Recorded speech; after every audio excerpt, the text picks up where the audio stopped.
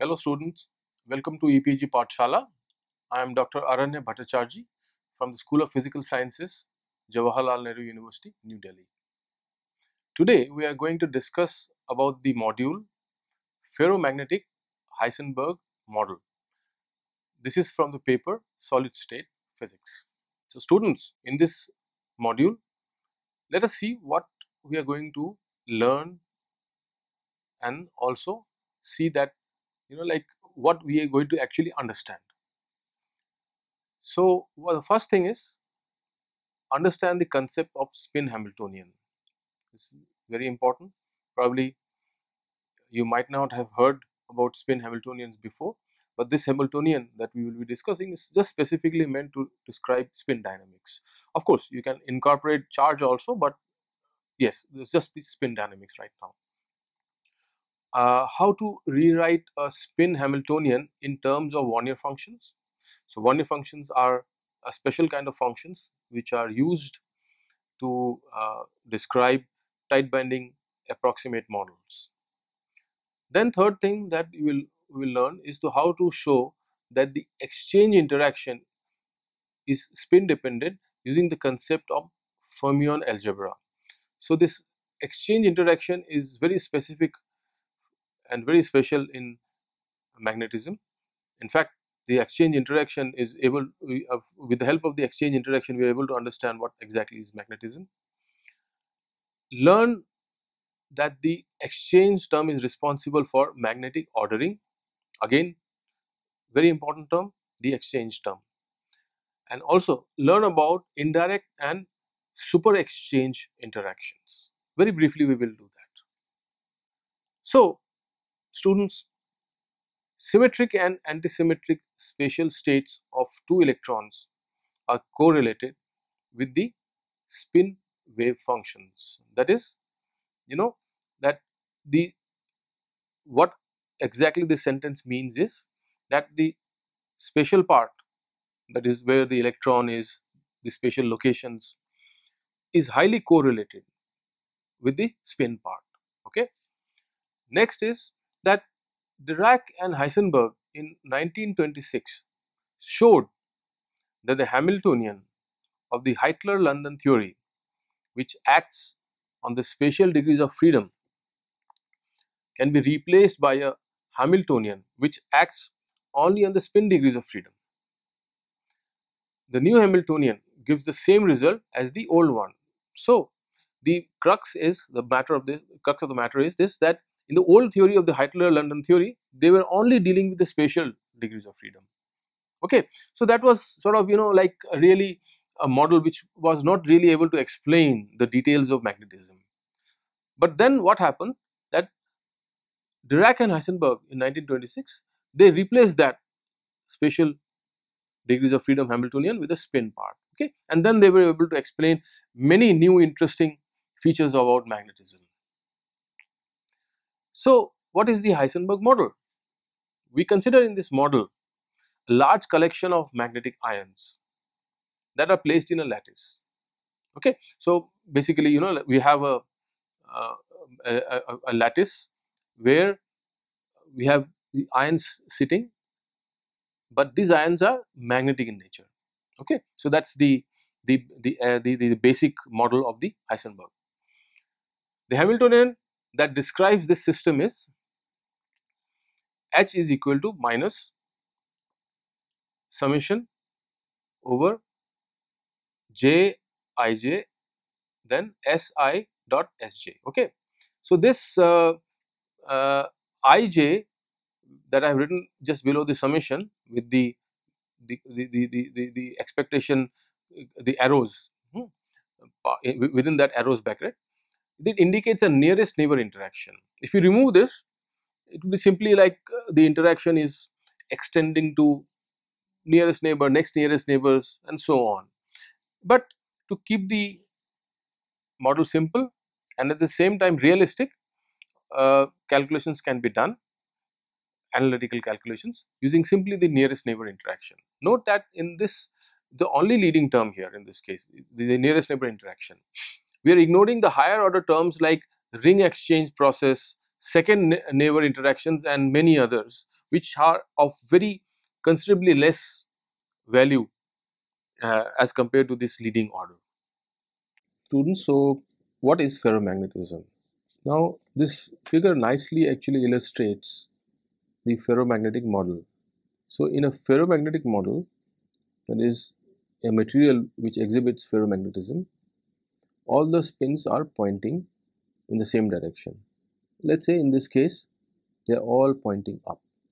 So in a ferromagnetic model spins pointing up all of them. That is the basic idea about ferromagnetism. The electronic states of the lattice of magnetic ions that we have considered can be described by Wannier functions W as a function of capital R and small r. Okay. So, you see that Wannier functions actually they are very useful in describing localized states whether you have ions or you have got atoms on a lattice, neutral atoms on a lattice, you can use Wannier functions. Of course, I mean like in certain approximations one can replace the Wannier functions by a Gaussian, but here for the time being, I mean we sort of prefer to be in the Wannier function which is more accurate than the Gaussian approximation. And uh, capital R basically implies that the electrons are localized at atomic sites R. In this model, we have taken the spatial wave function of the electrons as fixed. Okay. So, this is also very important. The spatial wave function of the electrons is fixed. The interaction of the spin and space degrees of freedom can give rise to various energies, but at the same time satisfying the Fermi statistics. Okay. So, you can you know like play around with the spin and the space degrees of freedom. But the ground reality is that it should satisfy the Fermi statistics. It is very important because we are dealing with electrons not bosons. Okay. The Hamiltonian for n electrons is written as the sum of the kinetic part H kinetic plus the interaction part H interaction. So, the kinetic part is simply p square by 2m and we have used a subscript n here indicating that uh, whether actually the summation goes from n equal to 1 to n that is there are n electrons. So, for the first electron let us say it will be p 1 square by 2m, the second one p 2 square by 2m and so on when we add up we get the total kinetic energy of, of the system plus u, u is the interaction part. Now, here U is the two body interaction like the Coulomb interaction. We will focus our attention on the interaction part and write it in the Wannier function basis. So, H interaction in the second quantized form is written as the following H interaction. Now, you have got a summation over many indices i, j and k, l. These are basically the site index the four different site index we are taking i, j and k, l and two spins states we are taking sigma and sigma prime. Okay. And remember that uh, if you look at this H interaction you will see that this interaction contains four operators that is Ci sigma dagger, Cj sigma prime dagger, Cl sigma, Ck sigma. So, they all together and this is the interaction part. Now, in order to study interaction Hamiltonian which we have described in the previous slide, the spin states Ri and Rk and Rj and Rl are same. Otherwise, if they are not the same, the matrix elements would vanish. So, we assume that Rl is equal to Ri and Rk is equal to Rj. The reason for the choice of these groupings is that these groupings produce a non-zero result at the lowest order in perturbation theory. Note that u is independent of the spin. So, doing this the interaction Hamiltonian rewritten like this where you get to see that instead of i, j, k, l indices we have simply i and j okay and we also take into account uh, the possibility of sort of shifting the i and j. So that is why we get a two term Hamiltonian not a one term. Now what we do is that we sort of further rewrite this Hamiltonian in a slightly different way, slightly in the sense that you will see the difference that is coming in is that I have introduced this operator number operator this n i sigma. Okay? So in order to do that I have used the following relation. C L prime sigma prime dagger into C L sigma prime plus C L sigma prime into C L prime sigma prime dagger is equal to delta L L prime. Now we discuss the concept of the exchange interaction. The last term in the Hamiltonian written in the previous slide where I had introduced the number operator is called the exchange term and it can be rewritten in terms of interaction between spins.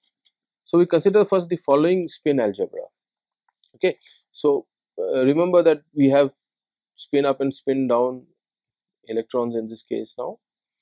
So Sz is equal to half of C up spin dagger C up spin minus C down spin dagger C down. So that is basically Sz is telling us you know the the is written as a population difference between the up and the down spins. So this is half of n up minus n down. S plus and S minus is written similarly. So that is S plus is equal to C up dagger C down. So this is implying that one is destroying the down spin electron but at the same time a correspondingly up spin electron is appearing. Opposite of S plus is S minus where you get to see that a up spin is getting destroyed while a down spin is created. The relationship between plus S plus and S minus with Sx and Sy is also written like this. So Sx plus iota Sy is equal to S plus, Sx minus iota Sy is equal to S minus. There are some other useful relations also as you can uh, see from here that Ni up into nj up plus ni down into nj down can be written like this in the following way. And finally you know like this expression is equivalent to half of 14 times siz dot sjz so it would be very interesting for the students actually to uh, really solve this and find out for yourself how this is obtained. Now summing over the spins, the exchange term in the Hamiltonian is rewritten as following that H exchange can be written like this. Uh, so you have now you get to see that we have introduced this Ni up and Nj up and Ni down and Nj down. And so just try to see if you can sort of manage to derive this exchange Hamiltonian. And then again you know using our knowledge about these algebra computation algebra of these spin operators you can further simplify the s uh, the hamiltonian exchange hamiltonian further and in the final form you know you will see that this s exchange is written as minus 2 into the expectation of ri rj and then you have the interaction Hamiltonian and on the right hand side you have the ket vector Rj Ri multiplied by 1 by 4 plus Si dot Sj. Now the other terms like you know like this term Ci sigma dagger Cj sigma prime dagger into Cj sigma dagger sigma prime sorry and Ci sigma they have got no spin dependence actually and this can be shown so explicitly I have not solved it but yes I have given some hints here which students can try. Okay, so now uh, finally we come to this uh, what exactly is indirect exchange and super exchange. There are many ways for two magnetic ions to interact. One of course we have already discussed. One is the direct overlap of the wave functions. Okay, so that is you know like you have got now two magnetic ions they are very close together and the wave functions are overlapping. So, that is basically when you are overlapping you are you can say that they are interacting. The other is the indirect interaction you know exchange in, in which the conduction electrons are the mediator. Okay. So, you see here that you need to have a conduction electron to have this second kind the indirect exchange. So, consider that you have got two ions A and B. So, the electron of the ion A flips the spin of a conduction electron. Okay. So, you can imagine that you have got two uh, ions A and B sitting like this. You have a conduction electrons which is basically moving let us say from the A to B. Now, when it passes through A nearby, the electron of ion A flips the spin of a conduction electron which then moves to the ion B. The conduction electron moves to the ion B and interacts with the spin of the ion B. Okay. So, you get to see the effect okay A to B it is interacting with B. There is yet another way the ions A and B can interact and that is what is called as super exchange. So, super exchange is similar to indirect exchange except that the mediator is a neutral atom sitting between the ions A and B. Okay. So, we have the same stage that we have ions A and ion B.